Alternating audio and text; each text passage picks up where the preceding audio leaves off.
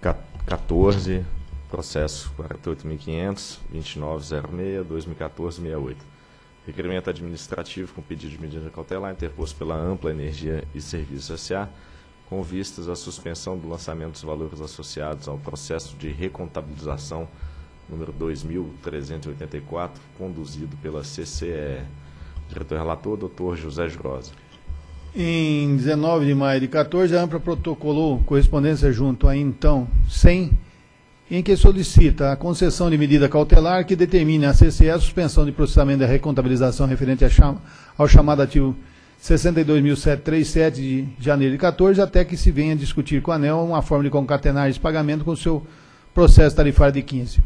Essa mensagem eletrônica, de 30 de 4 de 15, em mensagem eletrônica, aí que deve ser de 14, a CCE informou que o processo de recontabilização 2.384 impactou os dados de medição de 16 meses que a estimativa de impacto financeiro no período completo devido ao aumento do consumo do agente amplo, representava à época um débito de pouco mais de 43 milhões de reais.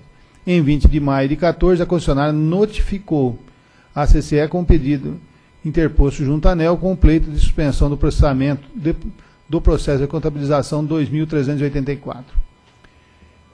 Em 30 de maio de 14, o diretor-geral declarou incompetente de apreciar o pedido de providência cautelar formulado pela AMPA, por não encontrar caracterizada a competência prevista no artigo 47, parágrafo 1 da 2, Resolução Normativa 273 de 2007. A solicitação foi recebida com base no direito constitucional de petição.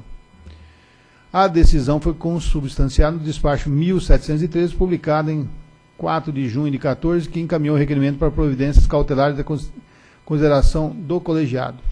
E no sorteio ordinário de, realizado em, em junho de 14, foi sorteado um relator da matéria. O processo veio da deliberação na 23ª reunião pública ordinário de 1 de julho de 14, porém foi retirado de pauta. Em 7 de julho de 14, a ampla reunião com esse relator reafirmou as razões de seu pedido. Em 14 de julho de 14, a empresa protocolou informações complementares em sua maioria mensagem eletrônica trocada com a CCE que consta as tratativas relacionadas à divergência na apuração da carga da AMPA por parte da Câmara.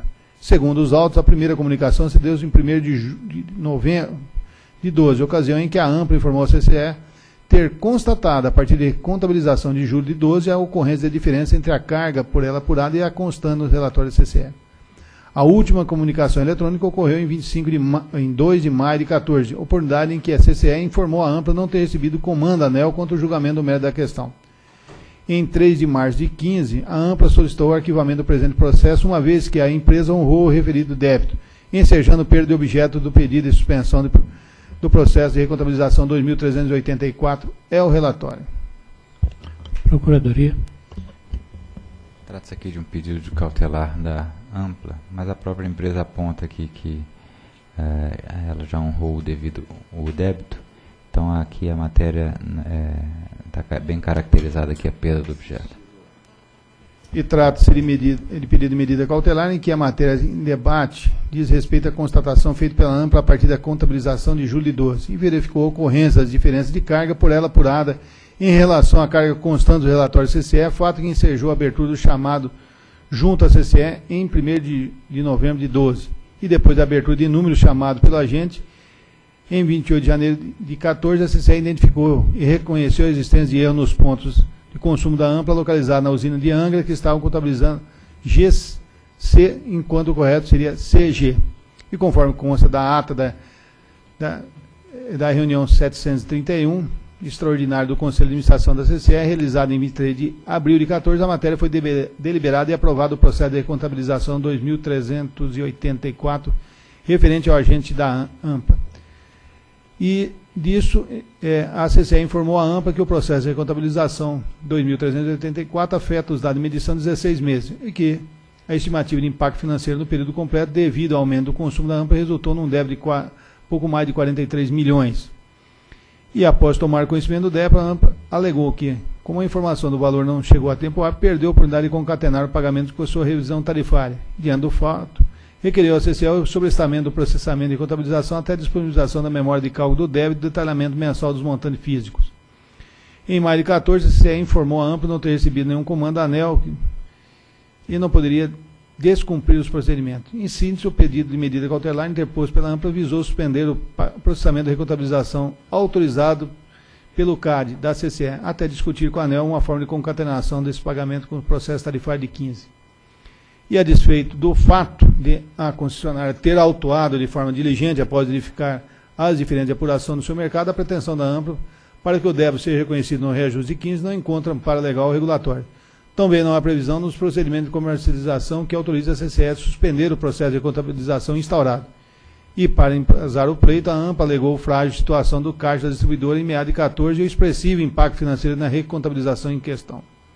Entretanto, em 3 de março de 15, a AMPA trouxe aos autos informações que as medidas adotadas pelo governo ao longo de 14 para mitigar o efeito da crise do setor elétrico no caixa da distribuidora lhe permitiu obter caixa suficiente para honrar o débito.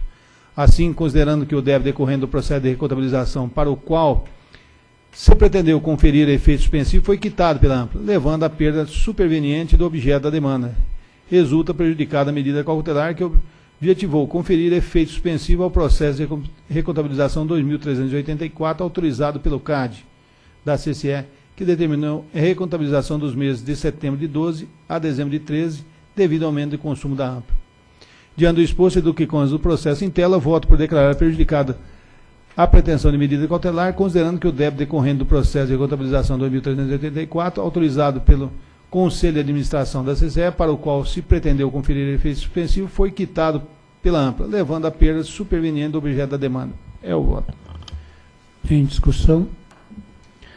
Só relembrar, né, doutor Jurásio, que aqui poderia ser monocrático. Né? Ok. Em votação. Com o relator.